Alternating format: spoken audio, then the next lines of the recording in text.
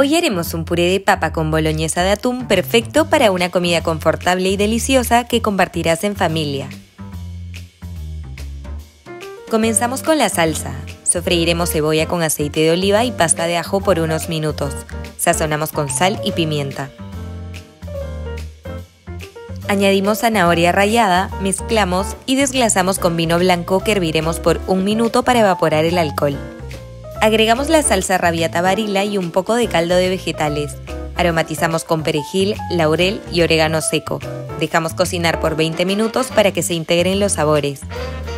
Una vez listo, sacaremos los aromáticos y añadimos el filete de atún florida en aceite de girasol escurrido que aportará el toque proteico y delicioso.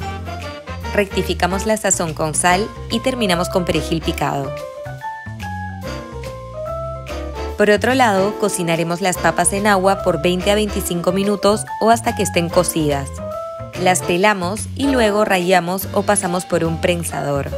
Calentamos una sartén y agregamos mantequilla hasta disolver. Añadimos la papa rallada, sal y leche fresca. Mezclamos hasta tener un puré cremoso y suave, pero no demasiado líquido. Usamos un recipiente para horno y colocamos la salsa boloñesa de atún en la base. Agregamos el puré cremoso sobre la salsa y extendemos. Finalmente, espolvoreamos parmesano en toda la superficie. Horneamos a 200 grados centígrados por 15 a 20 minutos o hasta que esté dorado y gratinado. Nos queda un plato lleno de sabor que es muy práctico para alimentar a todos en casa y puede servir acompañado de arroz y una ensalada.